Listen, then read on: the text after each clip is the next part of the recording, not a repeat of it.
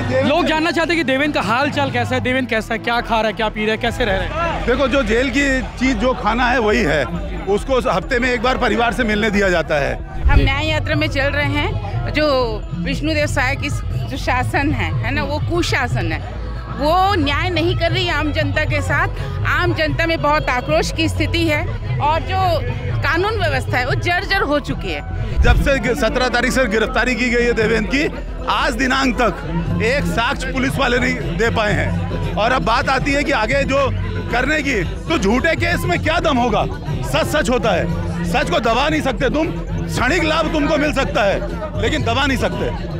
छत्तीसगढ़ की जनता आज असहाय महसूस कर रही है कि कैसी सरकार है जो अपराधों को नहीं रोक पा रही है। आए दिन आपको, आपके माध्यम से हम लोगों को भी पता चलता है कि कहीं पे चाकूबाजी हो रही है, कहीं पे जेल के अंदर लोगों को मार दिया जा रहा है या आत्महत्या की जा रही है। कांग्रेस के अंदर एक एक खेमा है वो कह रहा है कि सिर्फ़ देवेंद्र की रिहाई की बात हो रही है लेकिन और भी लोग हैं कांग्रेस के नेता पदाधिकारी यूथ कांग्रेस के लोग हैं उनकी रिहाई पर कोई बात नहीं कर रहा है। कि कई लोग कह रहे हैं कि सतनामी समाज के लोग खुल के साथ नहीं दिए देवेंद्र का साथ नहीं आ रहे हैं ऐसा लोग कहना है। लोग ऐसा है कि वो कांग्रेस की न्याय यात्रा जारी है आज पांचवा दिन है और आज एक अक्टूबर है। आज देव, विधायक देवेंद्र यादव की माता जी भी इस यात्रा में शामिल हुई देख सकते हैं पीसीसी चीफ दीपक बैच के साथ और पूर्व deputy CM T S Baba के साथ में हाथ पे हाथ लेकर इस न्याय यात्रा में चल रहे हैं। उनके अलावा जो है पूर्व विधायक अरुण ओरा भी मौजूद है। तमाम कांग्रेस के नेता मौजूद है और विधायक देवेंद्र यादव की माँ जो है भारत जोड़ो यात्रा में भी शामिल हुई थी। और अब न्याय मांगने के लिए जो है बेटे के लिए न्याय मांगने के लिए जो है आज की इस न्याय यात्रा में शामिल हुई है। दीपक बैच से बात करते हैं। जी, देख सकते हैं कि भीड़ है, लगातार युवाओं में जोश भी है और लगातार जयकारें, नारेबाजी लगाई जा रही है कि न्याय यात्रा को लेकर जो है, न्याय की मांग को लेकर जो है सड़क पर आज कांग्रेस मौजूद है और लगातार जगह जगह जगह जो स्वागत हो रहे हैं और तमाम कांग्रेस के नेताओं का स्वागत हो रहा है, जो लोग इस यात्रा को लीड कर रहे हैं, उनका स्वागत हो रहा है। और आप देखिए कि किस तरह से पूर्व डिप्टी सीएम अमरजीत भगत जी मिल गए हैं। भगत जी भगत जी भगत जी, भारी पसीना बहा रहे हो। देखिए, अन्याय के खिलाफ जो लड़ाई है, उसको बुलंद करने के लिए उसको अंजाम तक पहुँचाने के लिए जी।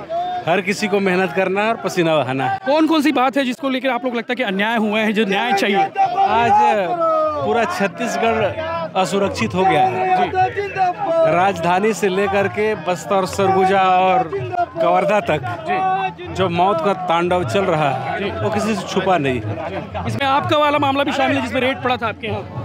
नहीं ये तो ये, तो पूरे हिंदुस्तान में जहाँ जहाँ चुनाव होता है तो वहाँ पर ये आम बात है। जी। अभी उस मामले में क्या हुआ? मतलब क्लीन चिट वगैरह आपको कहीं जा जा चलिए है? वो अपना काम कर रहे हैं हम अपना काम कर रहे हैं। कल क्या होने वाला है? कल दो अक्टूबर आखिरी दिन है। कल समापन होगा और जी। पूरे प्रदेश से बड़ी संख्या में कांग्रेस कार्यकर्ता और पदाधिकारी उपस्थित रहेंगे। अगर नगरीय निकाय चुनाव को लेकर क्या स्ट्रेटेजी है? आप तो मंत्री रहे कांग्रेस के सीनियर नेता है विधायक रहे। ये तो अब समय से समय जब होगा तब होगा उसकी उसके लिए तैयार। यात्रा का इम्पैक्ट पड़ेगा उस चुनाव पे? ज़रूर। लोगों का प्यार मिल रहा है? बिल्कुल वो तो देख रहे हैं आप। पसीना सब बहा रहे हैं। हाँ। हम भी पसीना बहा रहे हैं। बिल्कुल बिल्कुल। शुक्रिया पूर्व मंत्री अमरजीत भगत है जिन्हें आपने सुना और उनका कहना है कि बहुत सारे मामले हैं जिसको लेकर न्याय की बात होगी और अन्य और कांग्रेस की विधायक मिल गई है महिला विधायक उनसे ही बात करते हैं। मैडम जी। पसीना बहा रहे हैं आप लोग भी। जी जी। हम न्याय यात्रा में चल रहे हैं जो विष्णुदेव साय की जो शासन है है ना वो कुशासन है।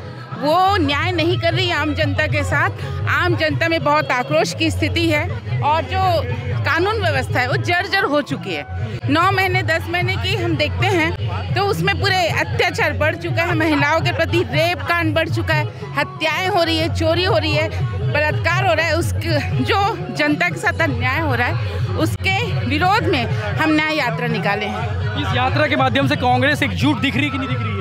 क्योंकि बड़े नेता आज आते हैं कल जाते हैं आ जाते हैं जा रहे हैं। न्याय यात्रा बहुत एकजुट होकर चल रहा है लगातार चल रहा है। कोई आ रहा है कोई जा रहा है अपने अपने शेड्यूल अनुसार। उनके भी क्षेत्र में जनप्रतिनिधि हैं तो उनका भी काम रहता है। लेकिन सब हम एक एक हैं। आपकी यात्रा कहाँ से चल रही है? मतलब आप कब से ज्वाइन हुए इस यात्रा में? मैं तो शुरू दिन भी आई थी। और आज सुबह से चल रही हूँ नौ बजे से सलामी हुआ और उस समय से लगातार चल रहा है, कल लास्ट है कल आखिरी है हम रहेंगे। शुक्रिया। तो बालोद संजारी की जो है विधायक और बात कर लेते हैं। बात कर लिए। कुठारी जी भी है राजनांदगांव से। कुठारी जी राजनांदगांव कितने लोग आए हैं? राजनांदगांव से काफ़ी लोग आए हैं। हाँ। लगभग पहले दिन की यात्रा में हमारे राजनांदगांव जो अविभाजित जिला था वहाँ से लगभग सौ लोग आए थे। हाँ। और लगभग पचास लोग तो परमानेंट चल रहे हैं। राजनांदगांव ज़िले से। हाँ। और कल समापन के दिन हम्म, राजनांदगांव ज़िले से लगभग 2000 लोगों के आने की संभावना है। हम्म, हम्म, जी। शुक्रिया। बाकी इसका असर दिखेगा ग्राउंड पर? इसका असर बिल्कुल दिखेगा। हमारे माननीय अध्यक्ष दीपक बैज जी की मेहनत निश्चित रंग लाएगी और कार्यकर्ताओं में और जनता में स्वस्फूर्त उत्साह है इस पद यात्रा के लिए। ठीक है शुक्रिया। पीछे युवा कांग्रेस के भी नेता उनसे बात करने की कोशिश करेंगे। और कांग्रेस के जो पदाधिकारी अध्यक्ष हैं कोको पाड़ी जी उनसे बात करते हैं। कोको पाड़ी जी मौजूद है। कैसे है पाड़ी साहब? यात्रा का रिस्पांस कैसा है ग्राउंड पर? बहुत अच्छा है। जिस तरह से गिरौदपुरी धाम से बाबा के पूज्य भूमि से ये यात्रा की शुरुआत हुई है जिन मुद्दों के लिए शुरुआत हुई है वो छत्तीसगढ़ के जनता के हित का है। छत्तीसगढ़ की जनता आज असहाय महसूस कर रही है कि कैसी सरकार है जो अपराधों को नहीं रोक पा रही है। आए दिन आपको, आपके माध्यम से हम लोगों को भी पता चलता है कि कहीं पे चाकूबाजी हो रही है, कहीं पे जेल के अंदर लोगों को मार दिया जा रहा है या आत्महत्या की जा रही है। जो दिन ब दिन बलात्कार हो रहे हैं, जो घटनाएँ बढ़ रही हैं, आज वो छत्तीसगढ़ जैसे शांत प्रदेश को, जहाँ कभी ऐसा नहीं हुआ, वहाँ पे जो हो रहा है वो सच में चिंता करने वाला विषय है, चिंता का विषय है। और हम कांग्रेस पार्टी के लोग पूरी ज़िम्मेदारी के साथ छत्तीसगढ़ की जनता के हित की मांग को लेकर के आगे बढ़ रहे हैं। युवाओं में कितना जोश देख पा रहे हैं? देखिए जोश तो आप देख सकते हैं कि भरी दोपहरी में धूप है धूप में कड़क भीड़ थोड़ी कम नज़र आ रही है। नहीं नहीं भीड़ कम नहीं है। बहुत सारे लोग आगे हैं बहुत सारे लोग पीछे हैं पार्ट पार्ट में चल रहे हैं और ये पूरा पूरे- जोश खरोश के साथ रैली चल रही है। आखिरी दिन है। क्या स्ट्रेटेजी रहेगी दो अक्टूबर की इस यात्रा के समापन के साथ? दो अक्टूबर को पूरे कांग्रेस परिवार मिलकर एकत्र होकर इस जो छत्तीसगढ़ की जनता के लिए न्याय की जो लड़ाई है उस लड़ाई को लड़ने का काम कर रहा है। और जिस तरह अपराध छत्तीसगढ़ को शांत छत्तीसगढ़ को अपराध गढ़ बना दिया गया है उसको ऐसे उसके लिए लड़ाई लड़ेगा।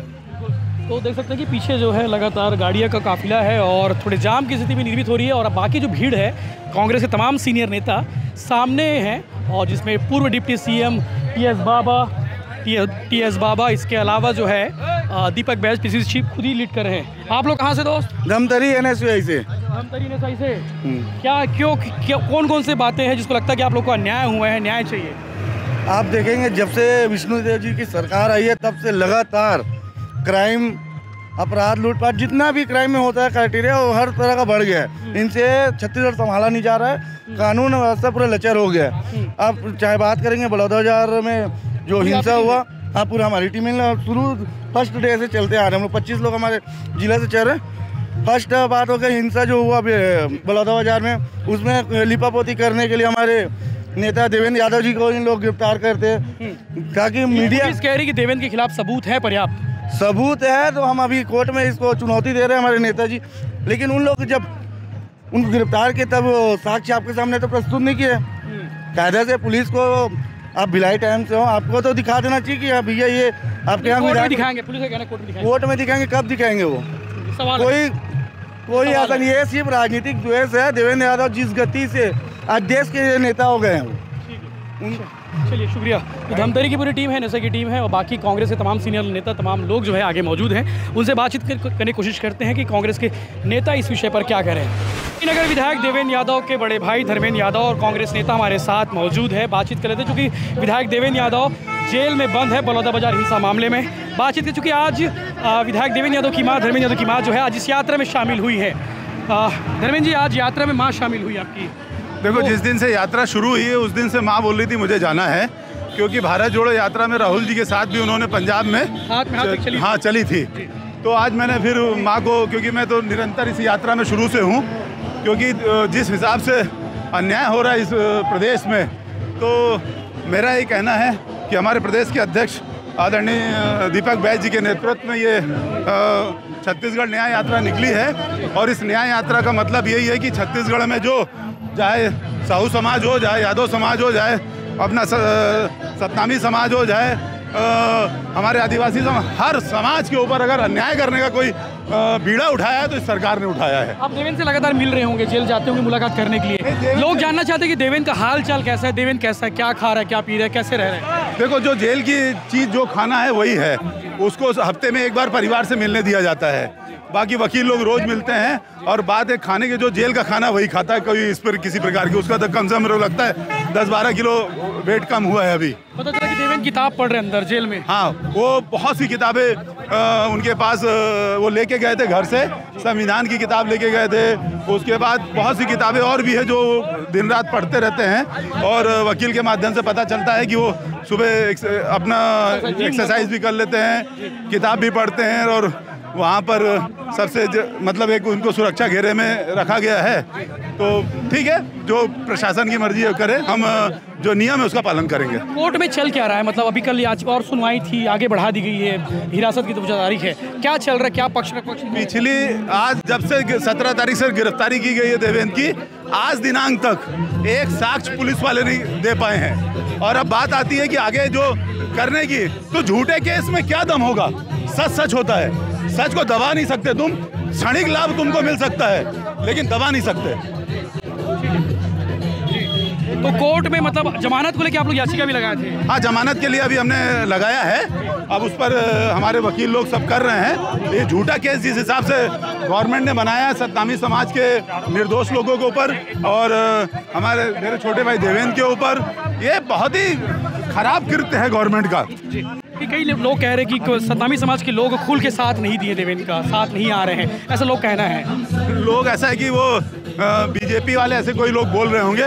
बाकी समाज को आप कैमरा और मैं नेता की हैसियत से ना जाऊँ तो आप समाज में जाओ। समाज इतना आक्रोशित है कि निर्दोष सत्तामी समाज के लोगों को उन्होंने फंसाया है और देवेंद्र को फंसाया है। एन के वहाँ के बलौदा बाज़ार यूथ कांग्रेस के बलौदा बाज़ार के अध्यक्षों को फंसाया है। मतलब बहुत निर्दोष लोगों को फंसाया उन लोगों कांग्रेस के अंदर एक एक खेमा है वो कह रहा है कि सिर्फ़ देवेंद्र की रिहाई की बात हो रही है लेकिन और भी लोग हैं कांग्रेस के नेता पदाधिकारी यूथ कांग्रेस के लोग हैं उनकी रिहाई पर कोई बात नहीं कर रहा है। सब पर सब पर चर्चा हो रही है वकील हर स्टेप बाई लगे हुए हैं। सबकी रिहाई कराएँगे और सबकी सबकी मजबूती से सबका साथ देंगे। जैसे देवेंद्र जो कहा है मैं सतना सतनामी समाज के निर्दोष लोगों के साथ था हूँ और रहूँगा तो हमारी भी वही लाइन है था है और रहेंगे। बाकी माँ ने क्या कहा? यात्रा में शामिल होने से पहले जब वो बोली और देवेंद्र को लेकर क्या कहती हैं? देखो माँ तो माँ होती है। उसकी पीड़ा महसूस नहीं कर सकते हम कोई महसूस नहीं कर सकता है। जिसके घर में अगर निर्दोष बच्चे को घर से उठा ले जाए हाँ तो वो माँ ही समझ रही है कि क्या हमारे घर में कर रहे हैं ये लोग। करें ठीक है? हम अच्छे गांधीवादी लोग हैं गांधी विचारधारा से चलेंगे।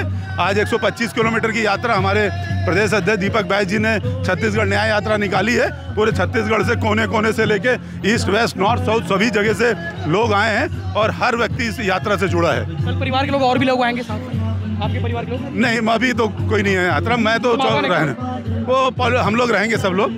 हाँ। शुक्रिया। धर्मेंद्र यादव जी थे, जिन्हें आपने सुना, विधायक देवेंद्र यादव के बड़े भाई, और कांग्रेस के नेता और भी लोग हैं, राजनांदगांव से भी आए, मेहुल मारू जी, पूर्व लोकसभा अध्यक्ष रहे हैं, यूथ कांग्रेस के। मेहुल जी, रिस्पांस क्या कह रहा है? युवाओं में कितना जोश दिख पा रहे हैं? प्रदेश कांग्रेस के अध्यक्ष दीपक बैज जी के नेतृत्व में यह एक ऐतिहासिक पदयात्रा, छत्तीसगढ़ न्याय यात्रा निकली है। आपने देखा होगा, विगत नौ महीने मात्र उसका समय हुआ है भारतीय जनता पार्टी को आए आप जहाँ चले जाएँ, आपके भिलाई में, हमारे राजनांदगांव में, आप राजनांदगांव के हैं, जो एक शांत जिला, शांत शहर कहलाता था, पिछले पंद्रह दिनों में तीन हत्याएँ हो चुकी है। भिलाई में आए दिन हत्या, मर्डर, डकैती, चोरी का सिलसिला जारी है। अपराधियों पे, असामाजिक तत्वों पे जरा भी शासन सत्ता का डर नहीं है। पुलिस, प्रशासन, इनके नेताओं के नाक के नीचे कमीशन खोरी में व्यस्त है। जुआ, शराब, सट्टा गली गली बिक रहा है। इससे ये लोग कमीशन खोरी कर रहे हैं। इनको आम जनता से कोई लेना देना नहीं है। इसके लिए हम लोग ये जो पदयात्रा निकाल रहे हैं, निश्चित रूप से आने वाले नगरीय निकाय के चुनाव में यह मील का पत्थर साबित होगा और 2029 अट्ठाईस के लोकसभा विधानसभा के चुनाव में निश्चित रूप से प्रदेश में और देश में कांग्रेस सरकार भी बनेगी। शुक्रिया। मेहुल मारू थे इससे पहले आपने धर्मेंद्र यादव को सुना, जिन्होंने देवेंद्र यादव के बारे में उन्होंने बात बताई कि जेल में देवेंद्र यादव के साथ क्या कुछ चल रहा है, इसके अलावा माँ आज उनकी यात्रा में शामिल हुई। माँ पर भी उन्होंने बातें बताई है। डिटेल स्टोरी आपको लगातार है चैनल के साथ बने रही रहिए।